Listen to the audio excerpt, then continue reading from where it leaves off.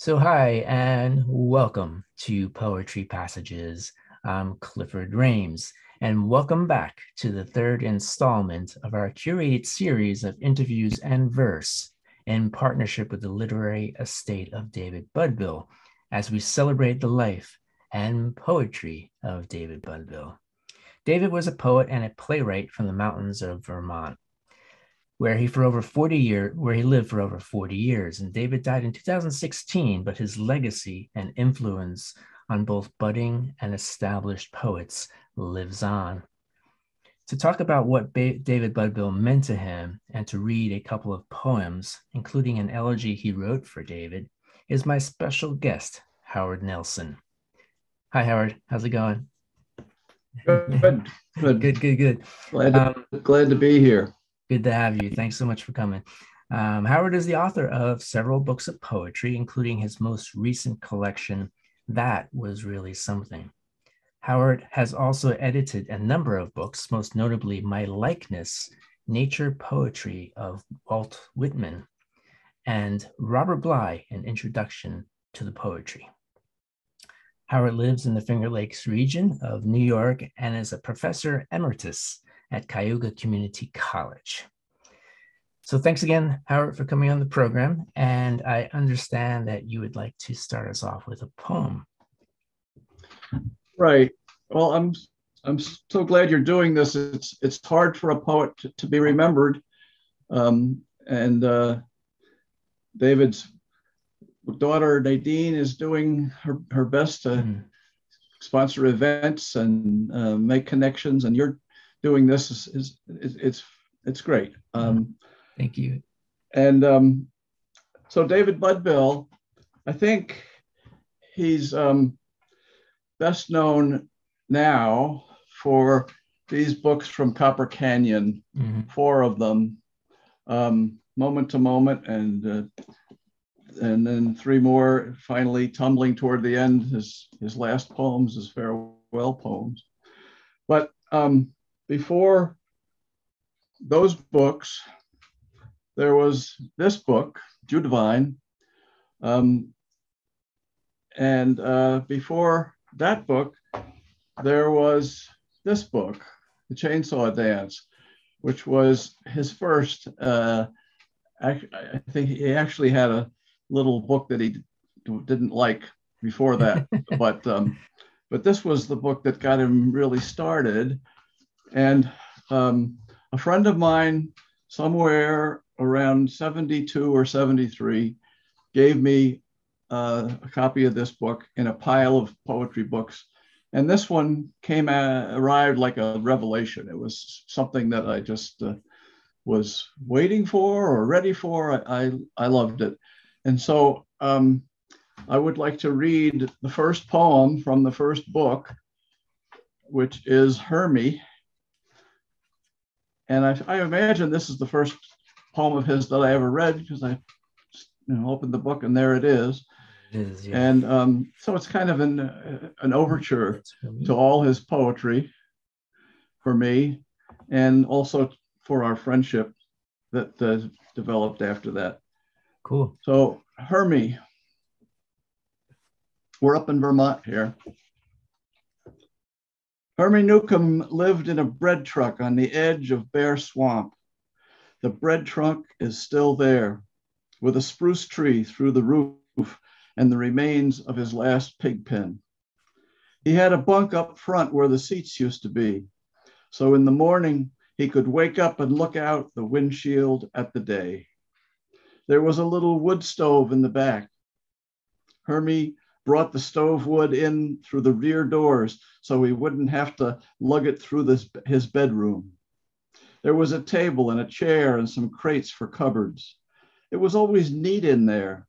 It was a good place and cozy. Hermie didn't need anything as big as a bus. His woman, Florence, was an Indian from New York. Before he lived in the bread truck, they had a shack next to the Dunhill Cemetery. And before that, they lived on Hermie's family place on the Aiken Pond Road up from the schoolhouse where I used to live. But one night, while they were still at the home place, Hermie got pissed at something, nobody knows what, and flew into a rage, which he did about twice a week. But this time went too far and lit both house and barn and watched them burn. When the neighbors came, Hermie was out in the snow in the dooryard, stomping and screaming, Burn, goddamn it, burn, you worthless place. You never was no goddamn good. Nobody could ever be quite sure when Hermie was drunk. He acted crazy all the time. There's nothing left of the Newcomb place now, only the spring box. Those tamarack boards will last forever. Then they moved over to the shack by the cemetery. Hermie liked it there, said it was the first place he ever lived where he had decent neighbors. Antoine tells about going past there on a Saturday night and seeing Hermie and Florence dancing with the chainsaw going in the middle of the floor. Hermie and Florence would get drunk. Then Hermie would adjust the carburetor on the saw so it would run too rich, so it would sputter and bounce with a rhythm worthy of a good musician. Then they'd sing and dance to the music of the saw. Hermie could cut pulp like a son of a bitch. He could pull and jam when he wanted to, but that wasn't very often. Everybody said he was worthless. Hiram still says his mother should have knocked him in the head when he was born and spent the money on some grain to raise a pig. Hermie never did anybody any harm. In fact, the night he burnt the home place, he was sure to get Florence and the cats out before he struck the match. He burnt the cemetery place too.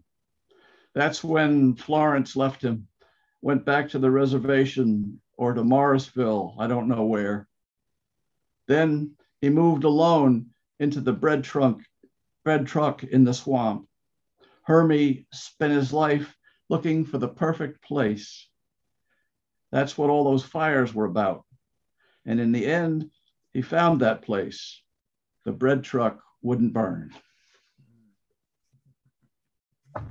Wonderful. So now we know- I just, I just uh, thought I, I had never read anything quite like that, and it was what I was looking for. And you said that was probably like the first David Budbill poem that you had come across. Yeah, right. right. Yeah.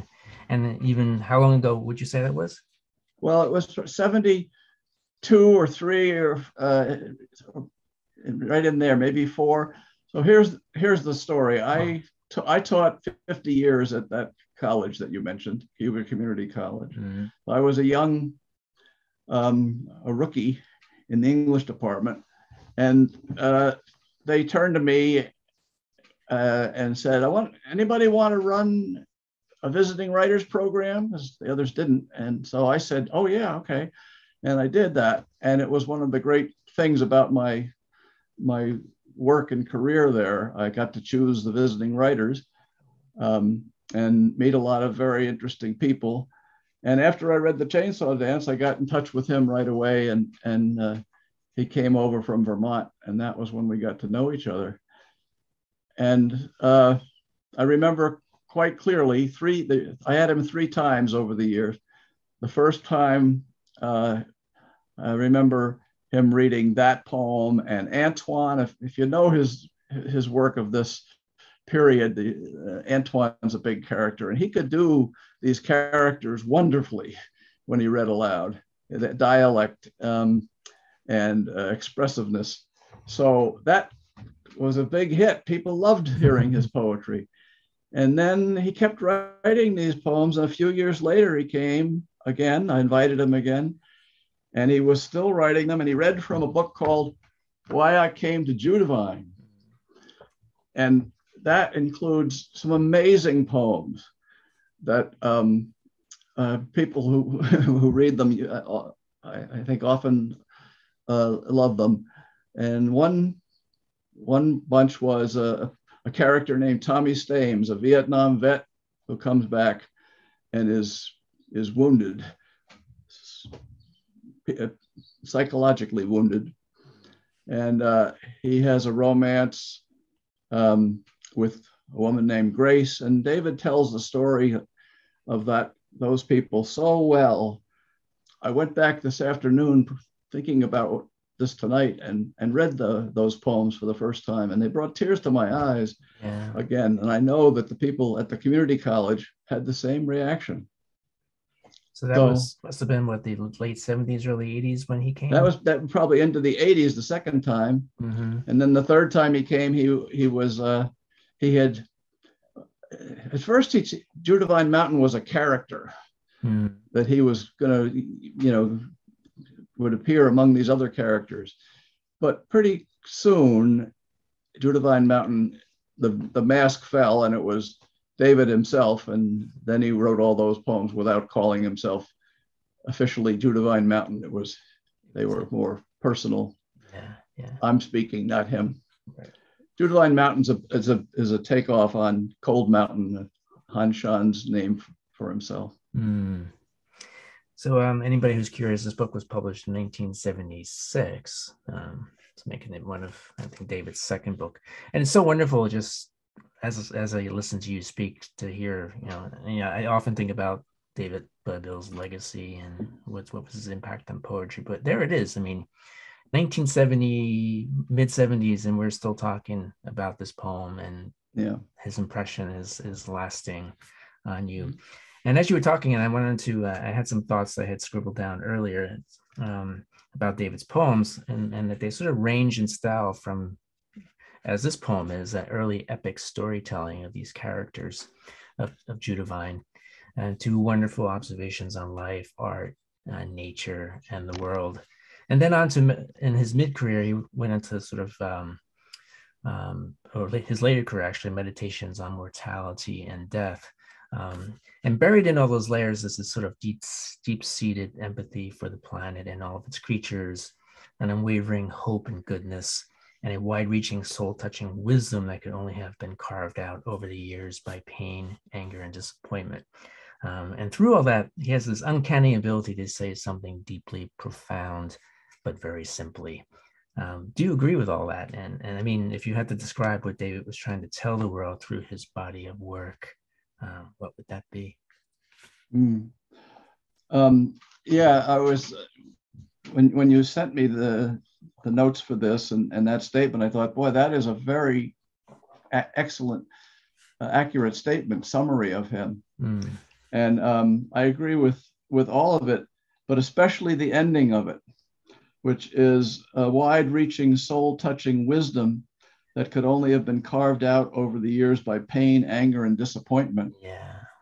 And there, you know, he, he kept in he had that in his life and he kept yeah. in touch with it and uh, then uh, and he had this uncanny ability to say something deeply profound simply mm-hmm. well hit the nail on the head that's that's a great true sentence about david budbill yeah. i wanted to say um, you asked uh, how would you describe him as a person and um, that do you want me to answer that now? Yeah, absolutely.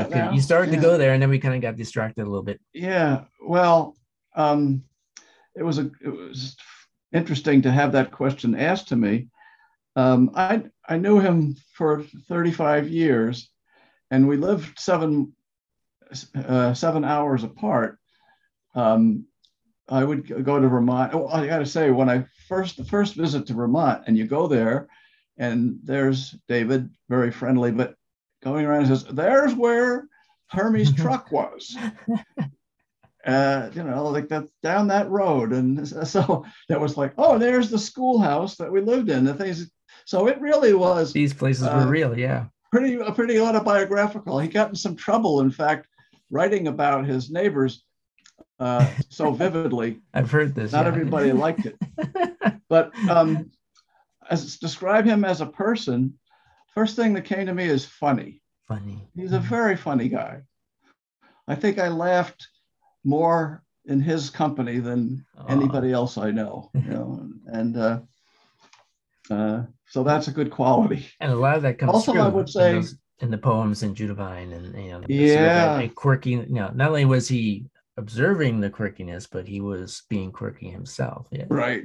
and I think that the the humor c- continues all the way through as he changes to a more autobiographical. Mm-hmm. Uh, I'm the personas uh, kind of poetry. He, he never he never stopped being funny. I mean, even in, poem, even in tumbling toward the end. yeah, yeah.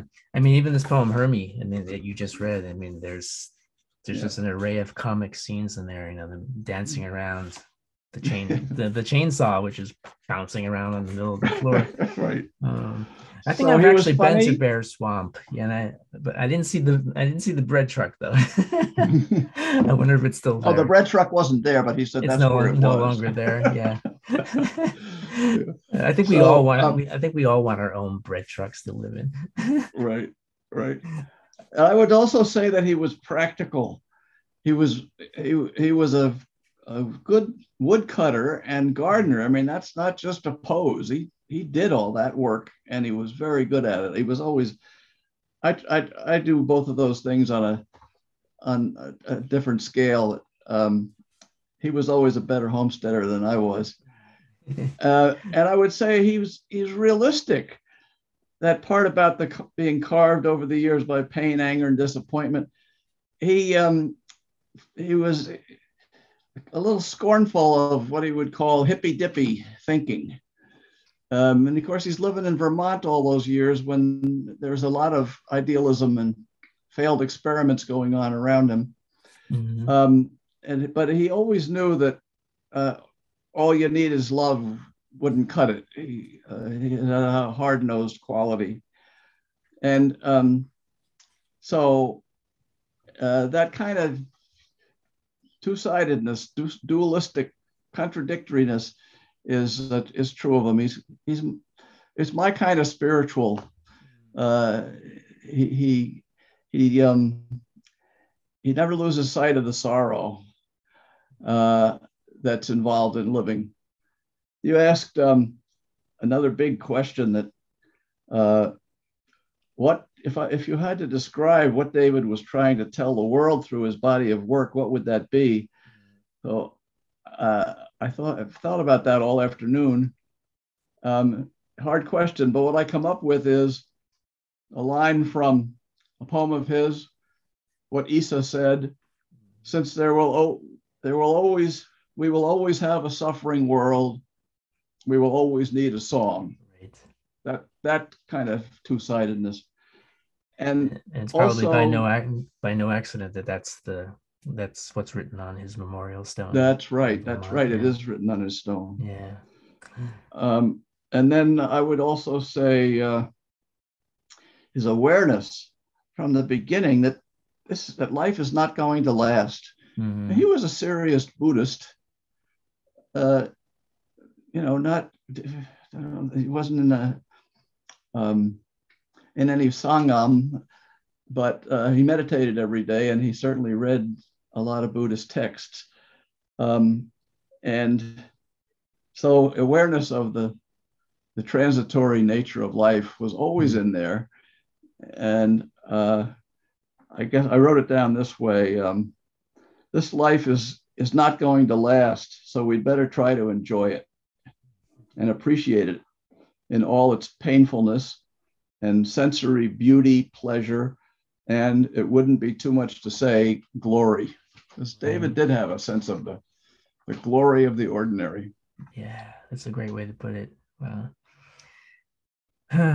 um, something you said about you know how it's not an experiment, and I, I, this is something I talked about a little bit in our last with our last guest, Jody Gladding, and um, how you know David's time in in Vermont in the mountains wasn't a, wasn't like a, an experiment in living like a la Thoreau. It was you know it was who he was, and he wasn't this hippie fellow living in the woods. You know, even though he you know to, to the uneducated outside observer, he may you may think he is, but he was far mm-hmm. from that.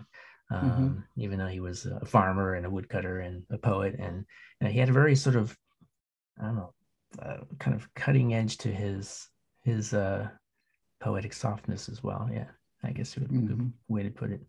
Um, well, you um, you wrote a poem when David died, correct? um, and it's yeah. an elegy to David. Right. Uh, when you want to talk to us about well, that, and I would, um, yeah, I wanted to read this when you proposed this idea. Um, yeah. It's a, it'll take me a, a, few minutes to read it, but um, so when David David had a serious disease. I, this is kind of self-explanatory. I don't need to say much. It's, mm-hmm. it's all in the poem.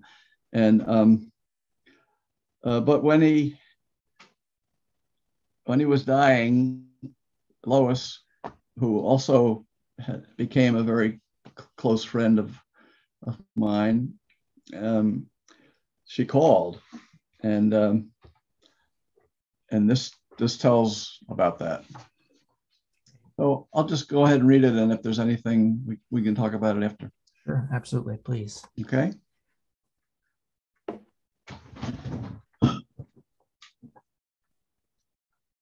Elegy for David Budbill.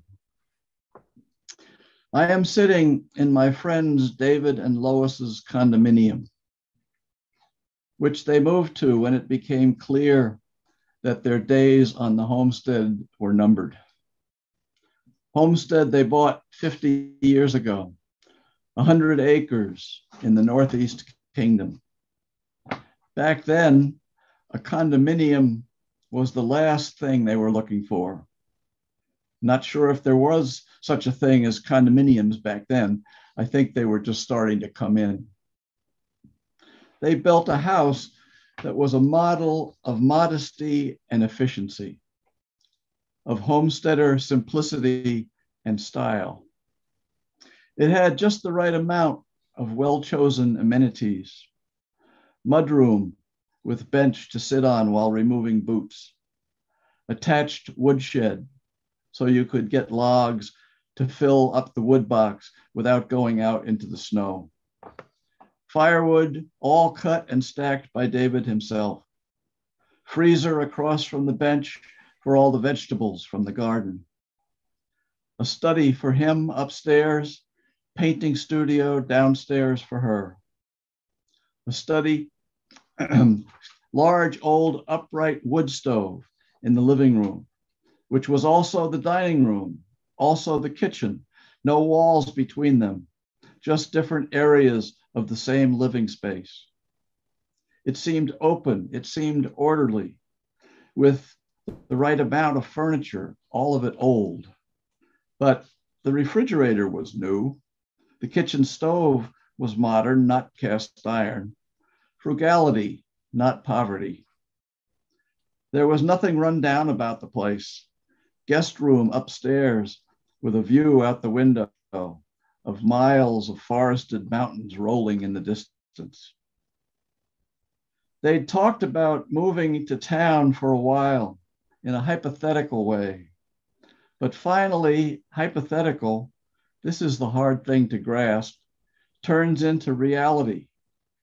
Cutting firewood, keeping a large garden, filling the freezer, pickling, shoveling snow, and so on and so on. At some point, no longer possible. You just can't manage any longer. And so, even though you hate to do it, eventually you have to sell the homestead trade it for a condominium down in Montpelier. Two years later, he's lost the battle with a rare, terrible disease, progressive supranuclear palsy. If lost is the right word, if battle is the right word for the inevitable. I remember a visit when it was in the earlier stages David and I went for a walk on the loop trail in the woods behind the house. He was walking with a stick slowly. And at one point, he lost his balance and keeled over, crashing into the brush. It was such a shock. I helped him up, lifted him onto his feet again. It was a struggle. He was heavy and clumsy now.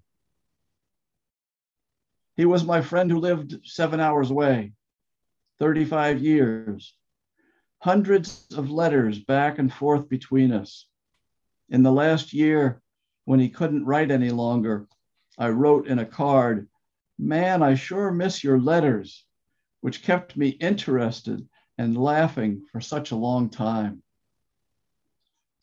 I'm grateful to Lois for calling to tell me when it was clear it would soon be time for him to go. If you want to see David again, you'd better come now. So I drove the seven hours. I was lucky to get there in time to see him while he was still breathing. He wasn't conscious. His body was trying hard to keep breathing as it was accustomed to doing. When Lois and Nadine took a break from watching, I sat with him alone for an hour or so. I talked to him. I read him some poems, his own and some others, mostly his own. I picked some of my favorites.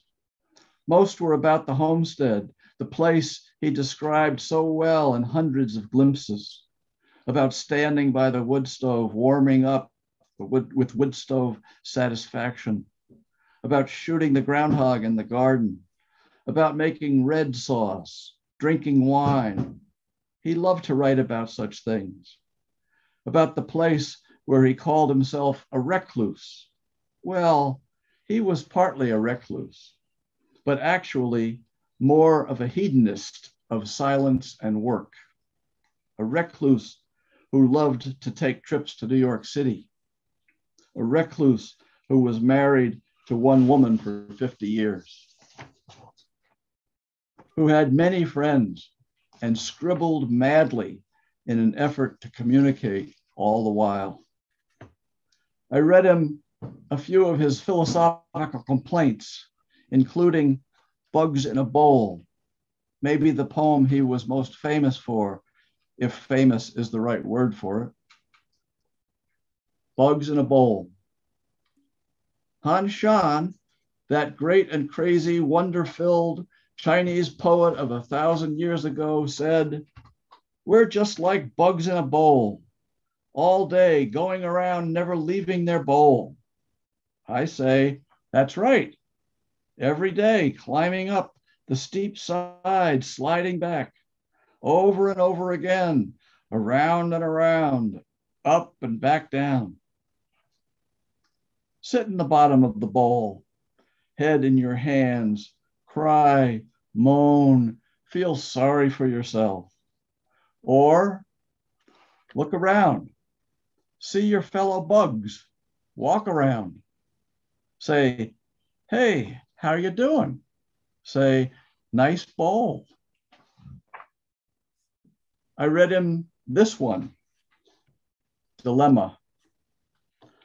I want to be famous so I can be humble about being famous. What good is my humility when I am stuck in this obscurity? I told him once that being fairly famous in Vermont was famous enough. He agreed, sort of. I read him one by his old friend Hayden Carruth about jazz trombone players. They both loved jazz. They used to listen to it together and talk about it for hours. I read him one by Robert Frost, who people sometimes said he resembled poems about New England, about people tough competition. Better not to compare. But you'd have to give David the edge in at least one thing. He was a lot funnier than Robert Frost. And humor is one of the great virtues in poetry, not to mention one of the things that gets us through life. It was a strange poetry reading, him lying there unresponsive they say hearing is the last sense to go. Then Lois came in and said dinner was ready. David could not join us at the table where he would have been in the days when I visited them many times at the beautiful homestead in the mountains. Where has that energy gone that was him?